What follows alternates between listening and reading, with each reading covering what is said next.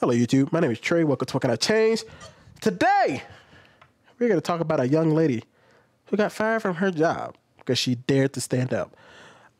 Uh, by the way, if you want to watch this video, you can like and subscribe. After you watch it and you, you're liking it, cool. Don't even know what I said there. But if you don't like it, that's cool too. Glad you came by. We're working our way towards a soundboard here to continue to increase the uh, production of this set. So if you want to help donate, here it is. Appreciate you. All right, so let's watch this young lady. Is Benicia open minded? Is this a town that values free speech?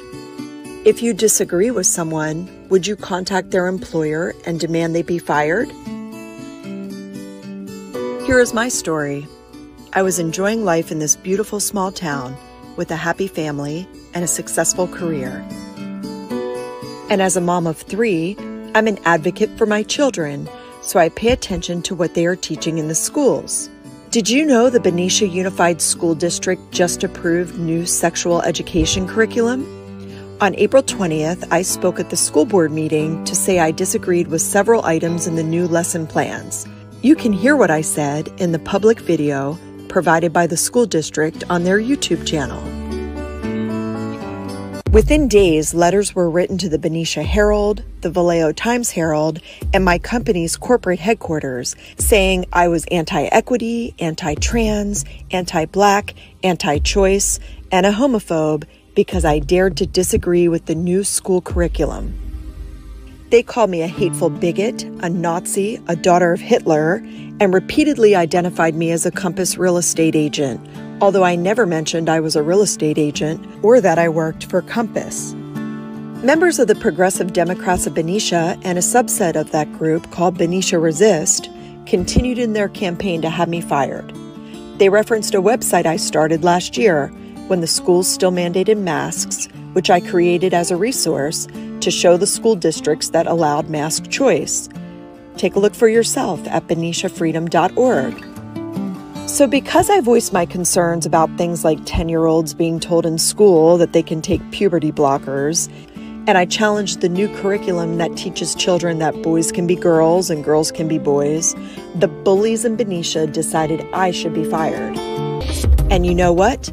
Compass, a powerful national company, who could have stood up for me and my American right to voice my opinion as a mom at a school board meeting, caved to the bully's demands. The treasurer of the Progressive Democrats of Benicia demanded that Compass provide answers about what I said at the school board meeting, or she would go public, in her words, about Compass not reining in hate for transgender kids.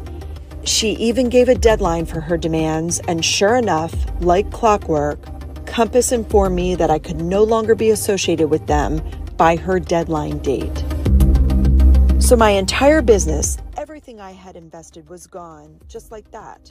By strangers who have never met me, and newspapers who never even contacted me before printing hateful lies, none of which are true.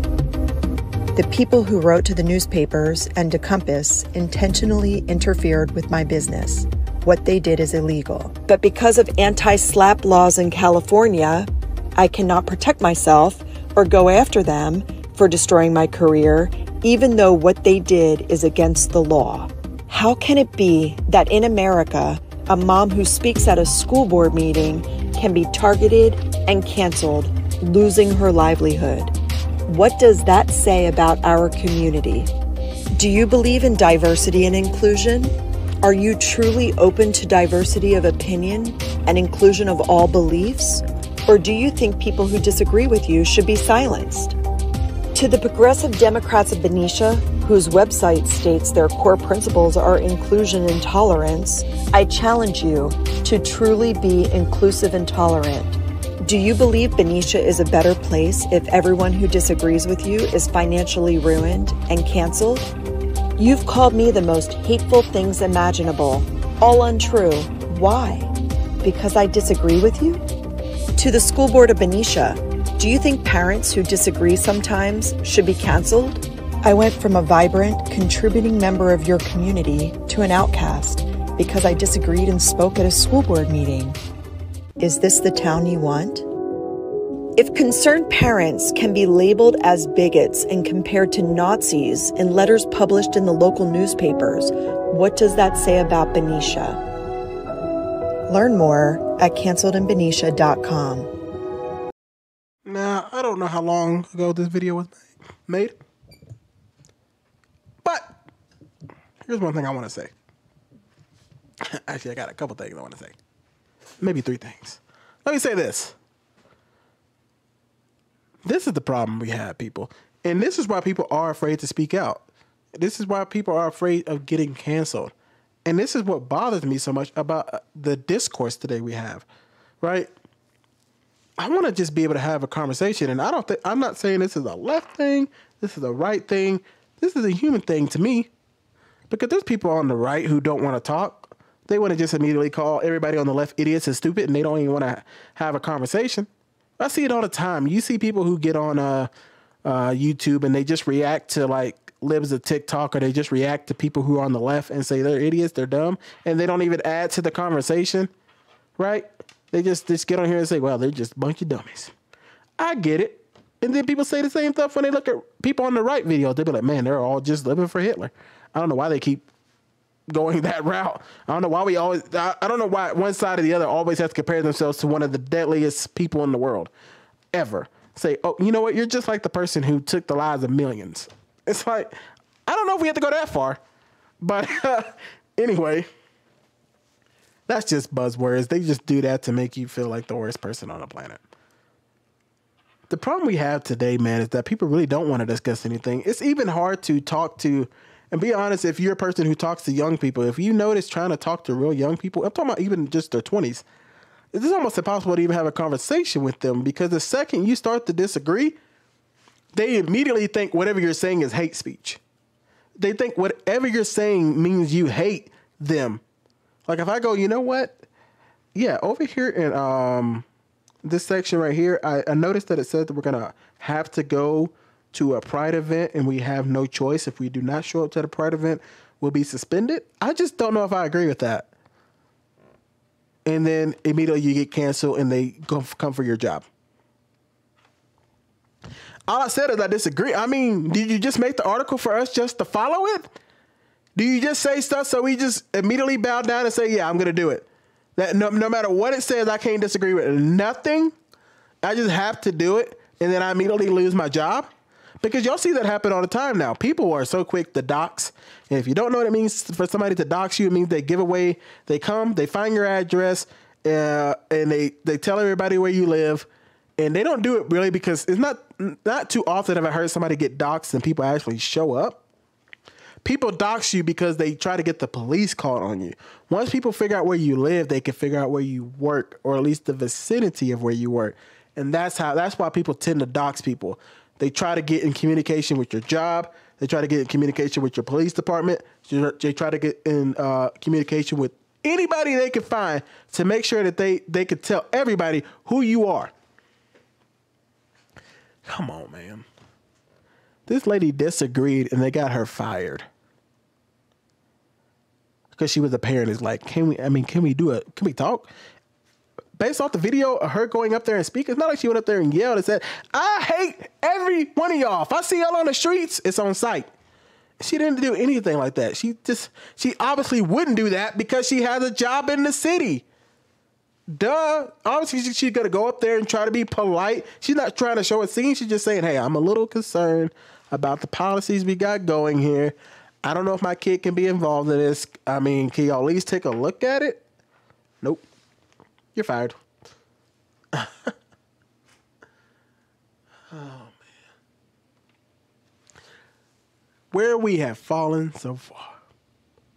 There used to be times where y'all remember growing up a little bit, and I'm not trying to sound like the old geezer here because I'm not. But y'all remember growing up, and there was the Democrats and there were the Republicans. And if you said you're a Republican, people were like, ah, okay. But if you say you're a Democrat, people are like, ah, okay. Now, if you pick one side or the other, you might as well have signed your life over. Because if you say you're a Republican, oh, they're gonna put you in everything. They're gonna say you alt right. They're gonna say you you're a Nazi. They're gonna say you hate blacks. You hate everything. And if you're a Democrat, you're gonna get called an idiot, stupid. How could you do that? You hate kids. You're a, you're a groomer. You're all this kind of stuff. If you pick a side, you might as well sign your life away. It's like, and people may say that I'm conservative or whatnot. No, I'm not. I'm nothing. Well, I mean, I guess I'd have to pick a group, but I guess most people would say I'm conservative. But I really just lean on what I believe. Right? I just pick the sides that are the best, the best line up with my beliefs. That's just me being honest. That's all I do. Obviously, you can't pick the perfect candidate. Heck, it's not like I even if I was running for president, I wouldn't think I was a perfect candidate because there's just no way to do it all. So you got to pick what you can pick. I mean, I don't. Anyway, I'm just saying it shouldn't be this way, man. It shouldn't be this way. I want us to be able to have a discussion. I really do get tired of saying, "Oh man, the people over on the left." I'm just so sick of that. It makes it feel like we're two different groups. When in reality, I know people on the left and right. I work with the guy who is on the complete left. And or he what he would say. He called himself a liberal, you know, and he would call me a conservative. And we were great. We talked to each other all the time, great friends. We vehemently degree on a disagreed on a lot of stuff, especially morally. But did I hate the man? Did I say he should die? Did I say he should be fired? I didn't do any of that. Did he say that against me? Nope. We worked together and we were civil. Because that's how it's really supposed to be. Now, obviously, some stuff that can be very moral that you feel like you really got to fight against, and I completely agree with that. But not to the point where I start hating you as a human being. I'm, I'm going to try to persuade your ideas. That's what I'm going to do. If I believe what you're doing is morally wrong, and I, I disagree with it, then I'm, what am I going to do? I'm going to speak, give you the facts that I have, and try to speak against it. I, I, and to be fair, I've been the kind of guy who stood on the side of the road holding up a sign. Obviously, didn't yell at nobody. I didn't do nothing to nobody. We didn't curse at nobody. We didn't do any of that. We held up our signs, peaceful protest. That's all we did. And we went home. That's it. I'm cool with those, man. But today it's like if you don't believe, and I hate it being this extreme, but it's like if you don't believe, you gotta die. It's like, is it that serious? If I don't believe, you gotta take my life. If you, if I don't believe, you gotta spit in my face now. If I, I, and I understand some people say sometimes it just comes to that. But if it comes to where we gotta fight each other,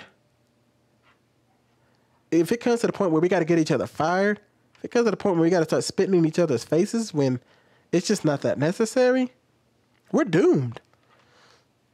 Because you think things are going to get better if every time, I, if I know that if I say, you know what, I think I'm against trans surgeries, I already know it's going to be a fight on sight, man, I'm going to have to start, we're going to have to start carrying weapons going everywhere. Because you know the conversation going to come up. We adults. It's going to come up. Some, if at some point somebody, or we're going to be cowards and we're never going to talk about it, that's the only other way to do it it can't just be be a coward or you got to fight to the death over one topic that we just disagree about. You got to ruin somebody's livelihood. YouTube politics. We see this happen on YouTube. And I can speak a little bit better to this because I've had this happen. Uh, you you make a video on a YouTuber. You disagree. They copyright strike you. There are some people who really do live off of YouTube, and you're willing to copyright strike them just to take away their livelihood because they disagreed with you? Why? Only reason you should ever copyright strike somebody that they literally are taking your content, stealing it, they put your video up and walk off camera. They don't say anything at all, and they just steal your content. Literally, that's all that's going on. Or they're really trying to do something to you that's heinous. Like they get on, they get on the YouTube channel, and say, "Find this YouTuber, take their life." Okay, I can understand a copyright strike or a privacy strike or something like that. Somebody copyright strike me. Guess this. You'll never believe this. Somebody copyright struck me.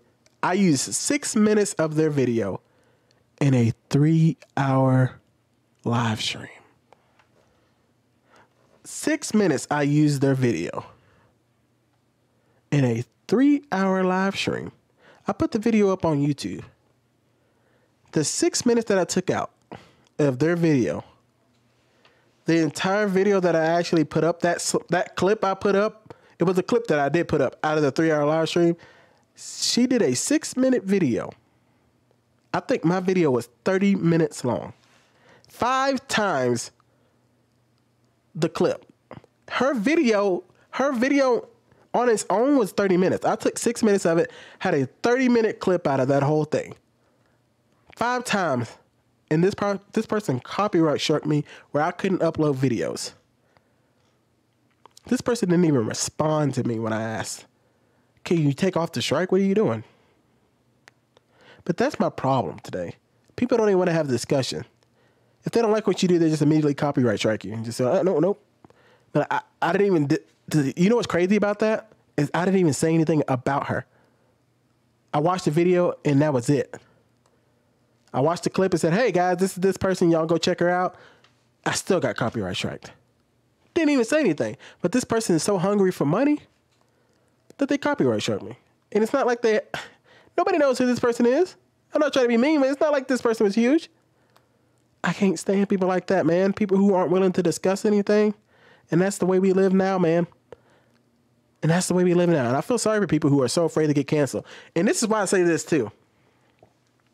I am not mad at people who don't always speak up. I said this and I'll say this again. Not everybody can hop on camera. Not everybody can do this because some people will lose their jobs. I get it. If you got a family to feed, you shouldn't just go be brash and just start a fight to start it. Now, I wouldn't say that if somebody came to you and said, hey, you do this or else, you can't stand up a little bit. But if it's going to cost you your job, how am I going to be mad at you? I can't. I can't. But this woman didn't go in there thinking that she was going to lose her job. She went in there to voice her concern. That's the whole. What the heck is the point of the board meeting if I can't even go in there and express what? I thought the point of the board meeting was for me to go in there and say, "Hey, this is some stuff I disagree with."